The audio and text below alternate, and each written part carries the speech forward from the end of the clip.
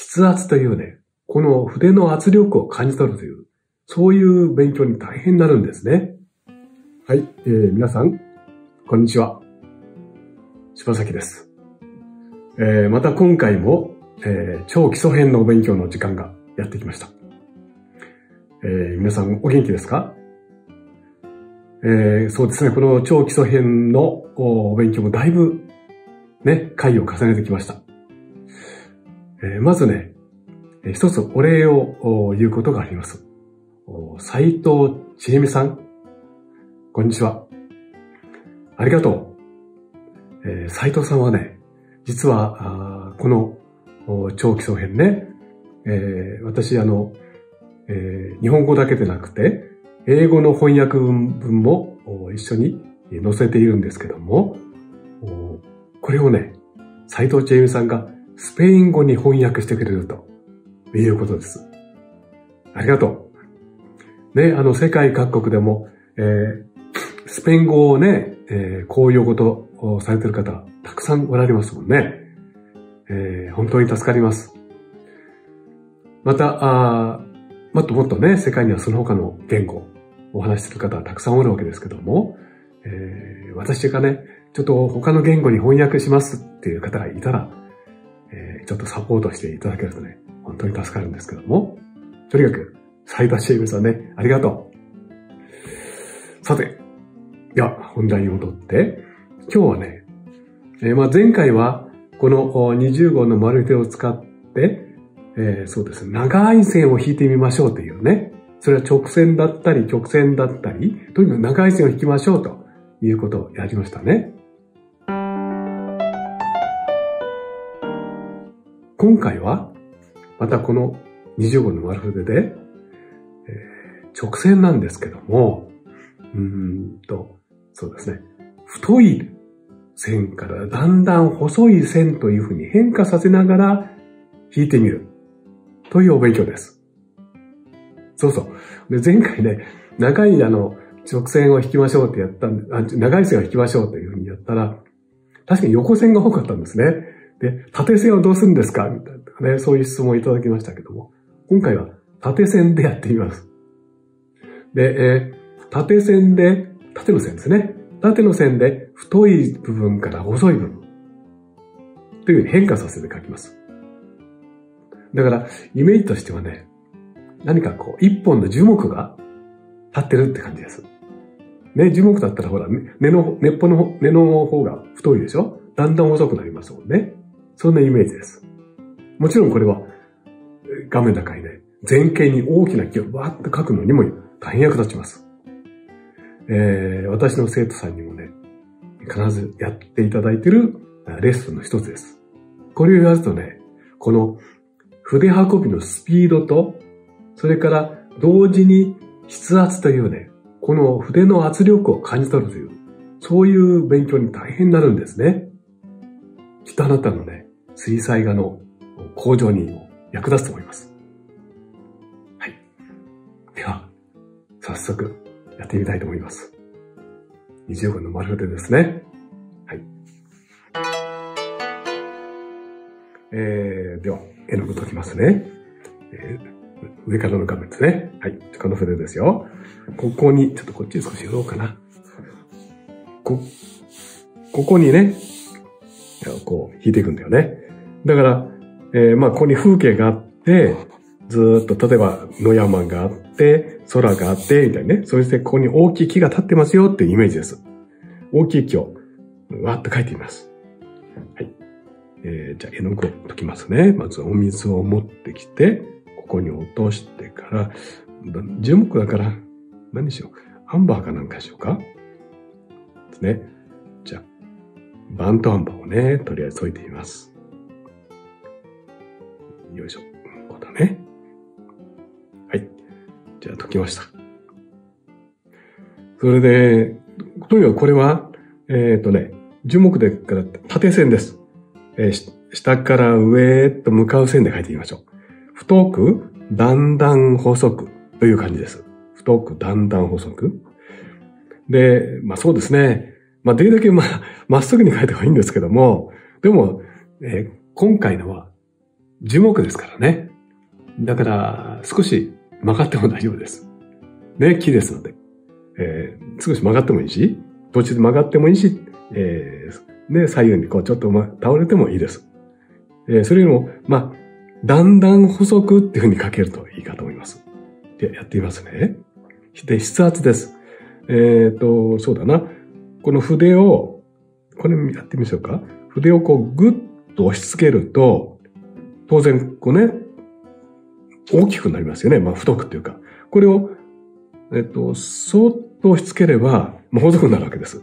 この、ぐっと押し付けるか、そっとやるかの違いで、太いところから細いところに変化つけるというやり方です。筆圧ですね。はい。で、同時にずーっと引いていきますので、この時のコツは、こう手首をこう返さない。手首を返さないで、このまんまの姿勢でずっと持っていきます。さあ、やってみますよ。えっ、と、ここら辺からね。まあ、とりあえず一本引いてみましょうね。だんだんきっと繰り返すと上手になりますので。まずぐっと押し付けて、このまま筆を上の方に持っていきながら、まあ上から見てるとちょっと見えにくいでしょうけども、この時にこの筆をですね、少しこう上に持ち上げる感じです。上に持ち上げると少し細くなりますので、それをもうちょっと持ち上げ、だんだん上に持ち上げながら、えっ、ー、と、前へ前へと進むわけです。と、ほら、今途中ですけど、だんだん細くなってきたでしょ？こういう書き方です。こう、ぐっと押し付けたのを、こう書いてきたら、少し筆を上に持ち上げる。そしてまたこう来て、もっとだんだんだんだん上に持ち上げながら、こうやって変化させていきます。同じようにして、こうしてだんだんだんだん筆を上に持ち上げてくる。どんどんどんどん細くなってきますので、そうすると、ここまでほっくると、もう随分細くなってきましたので、何かこう、筆がね、こう、心もとなくなってきて、こうなんかこう、こう、こう筆がよろよろよろっとこうするかもわかりません。こうやってね、だんだん、だんだんなんか力がどのくらい入れていくかわけで、こうなるかわかんないんだけど、まあこれはいいんだよね。だって僕たち生きてるって心臓動いてるんだから、少しドッキンドッキンドッキンドッキンとこういうふうにね、波打つかもわかんない。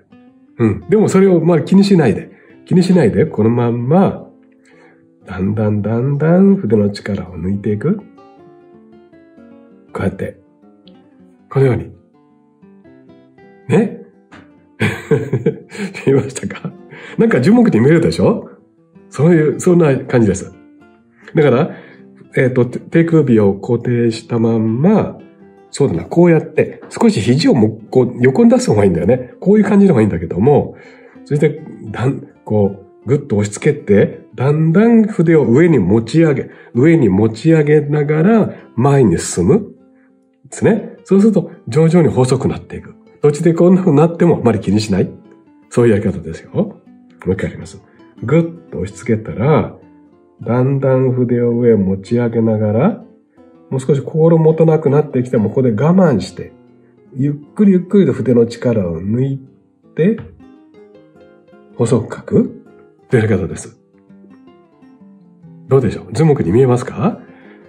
慣れてきたらですね、もう少しスピードをつけてやってみるといいかと思います。こうですね。こ、こんな感じです。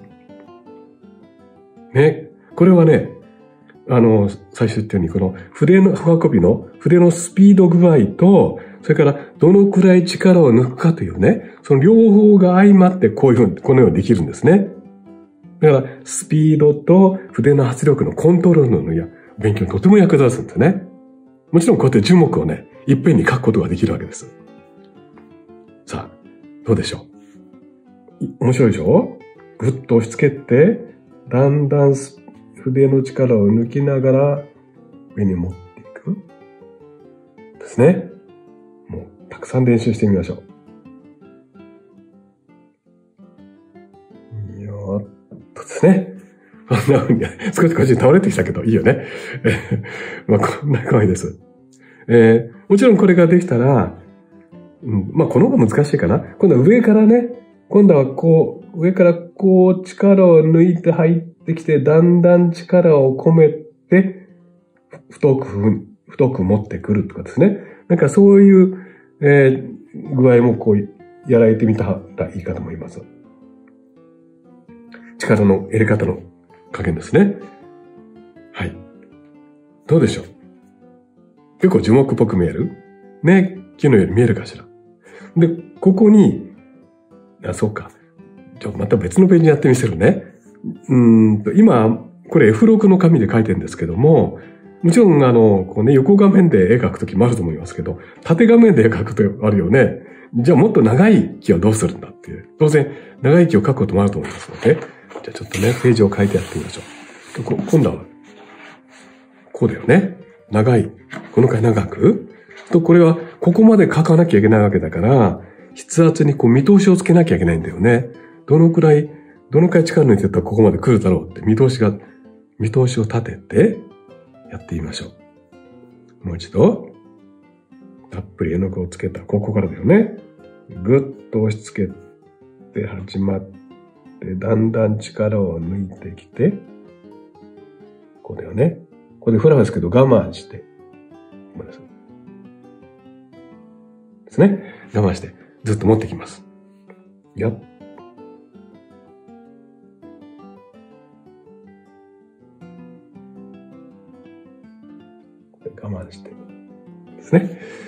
こう、木のようになりますので。はい。そして、えー、そしたらですね、これ枝をつけましょう。枝をつけるのはこの筆を、こうやって、こうやって、少しこう、ナイフのように、ナイフのようにね、作り変えて、これも同じです。ぐっと押し付けて引いてみるそうすると、太く細く。しかもこれよりも、これも全体細いんだけど、太く細くですね。こうやって枝のようにかけます。同じこっち向きは難しいですね。こうやって、こうですね。こうやって、もっと長く。こうかなうん。このくらい長い方がいいね。こうやってですね。え、まずでも手首返さなかったんでしょ？このようにして、えー、長い幹とですね、長い枝を引く練習です。さあ。どうでしたか？これをね、本当に役立つんですよ。あのー、ね、柴崎はこの間、雪の景色の時ね、手前に木を描きましたよね。あれをこんな考え、こんな、えー、筆の扱いで描いてるんですね。えー、前に進むスピードと筆の力を抜くスピードかな。それがこうぴったり合うとうまくできます。ね、えー、最初うまくいかないかもわかんないんだけども、これ練習が肝心ですよね。でもこれ用とも一回で僕よりも上手に書けるかもわかりません。はい。えー、いかがですか？えー、面白かった？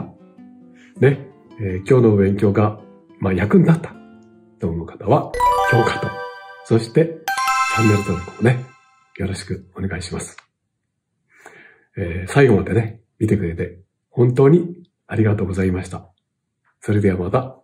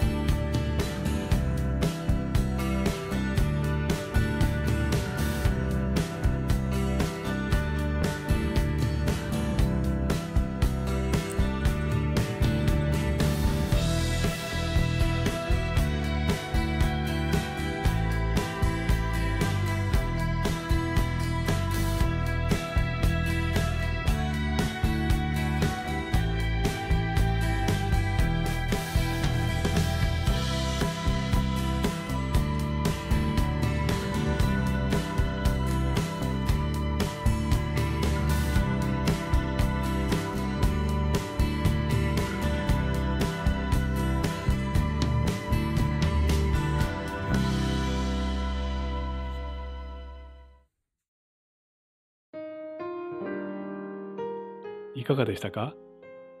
チャンネル登録もよろしくお願いします。